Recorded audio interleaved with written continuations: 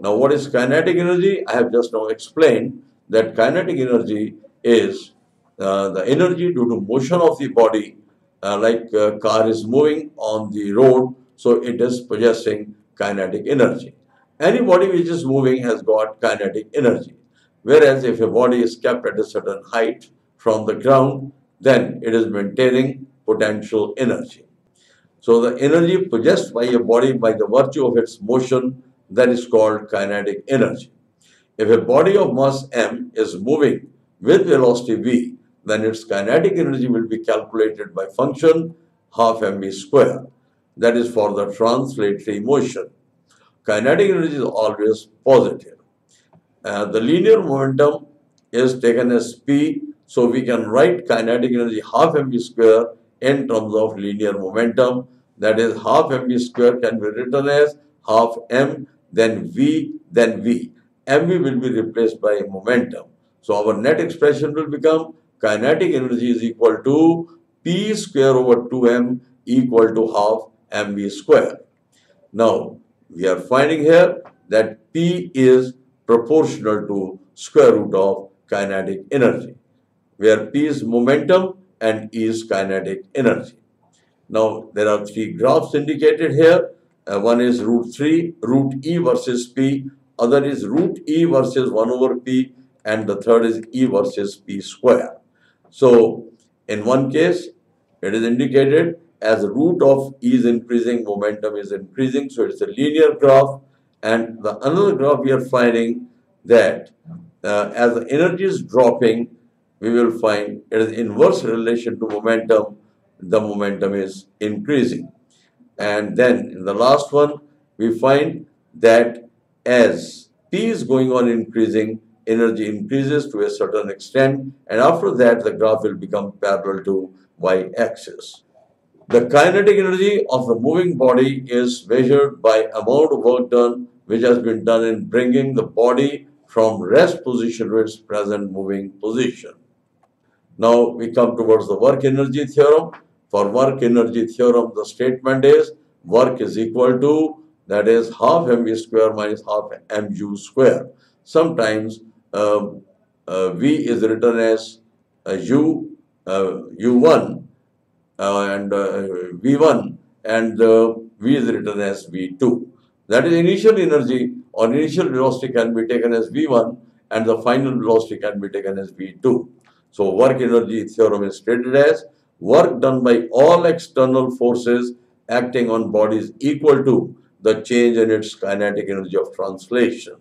So we can estimate uh, the work done, that is work done by all external forces will be equal to change in kinetic energy of translation.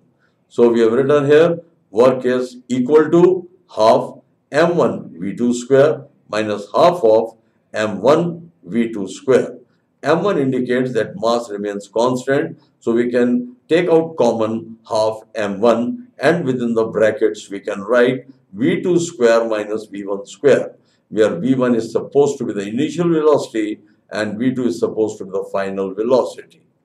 Now we come towards the potential energy that is the energy due to position or condition of the body and it is calculated by function mgh where mg is the weight and h is the height at which the body is kept. So weight is nothing, it is force so force is multiplied by height and that gives the value of the gravitational potential energy.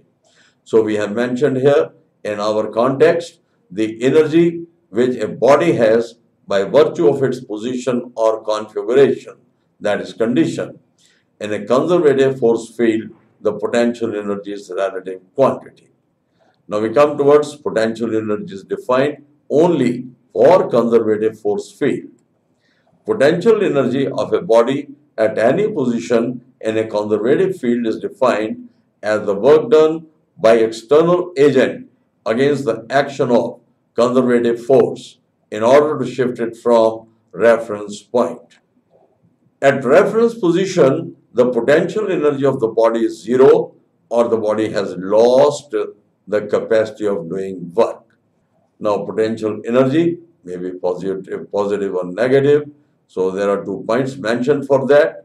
Number one is potential energy is positive if the force field is repulsive. So if the force field is repulsive, the potential energy will be positive. But if the force field is attractive, it means potential energy is negative. So potential energy is negative if force field is attractive in nature. Now the graph is indicated that is energy positive and energy negative indicated on uh, positive y-axis and the negative y-axis and uh, on the x-axis the repulsions and attractions are indicated as r is increasing. Different type of forces and corresponding potential energy. Different types of forces and corresponding potential energy so number one is the gravitational potential energy that is minus g mm by r where r is the distance. And when we write g it is a gravitational constant. And m means one is capital M other is the small m. So one is the mass of the uh, higher mass and other is the mass which is revolving around the higher mass.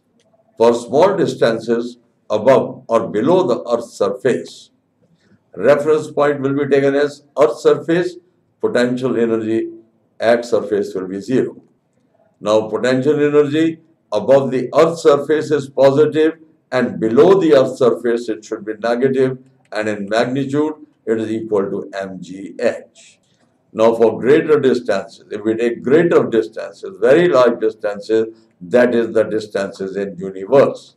So reference point will be infinity and potential energy at infinity will be zero. So potential energy is minus gmm by r which I have just now explained. For r greater than r where r is equal to radius of earth and small r the distance of the body from the center of earth. Small m is the mass of the body and capital M is the mass of the earth. We can apply to the uh, sun earth system then at that time small m will work like the mass of earth and capital M will behave like the mass of sun. Now electrostatic potential energy that is estimated by using Coulomb's law of electrical force. So it will become like electrical potential energy. So electrical potential energy is given as that is K Q1 Q2 by R. Reference point is infinity and potential energy is 0 at infinity. So P is given as minus sine theta Q1 Q2 by R where values of Q1 Q2 are substituted with sign. So the, again the graph is indicated. So equilibrium position is indicated after R naught and repulsion is indicated by the line of the graph moving in the direction of U. O is the origin and R is the distance taken on x, x axis. So U minimum will be taken as uh, the quadratic function uh, that is we have derived from b square minus 4ac and that will be minus b square over 4a. So attraction is indicated towards the origin and repulsion by the line uh, that is moving towards the y-axis. Now intermolecular potential energy that is present in solids. That is, all solids are made up of atoms and molecules. So, if their separations are normally 10 to the power minus 6 meters or centimeters, we find that they are strongly bound. Now, reference point is infinity, that is potential energy at infinity is 0.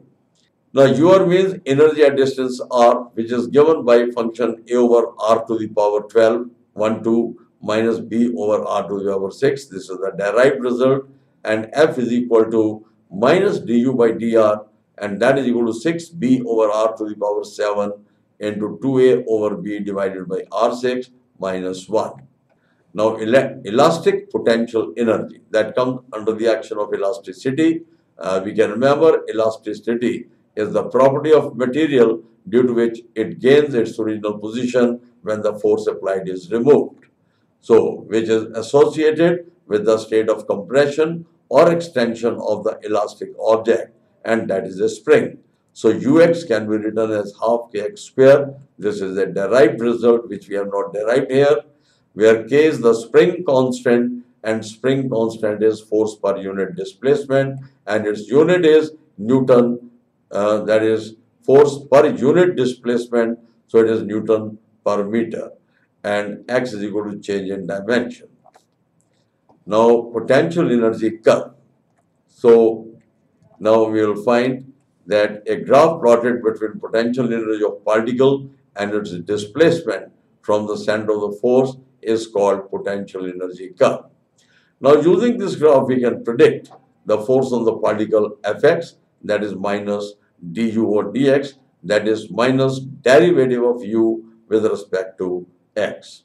Now case 1 is on increasing x.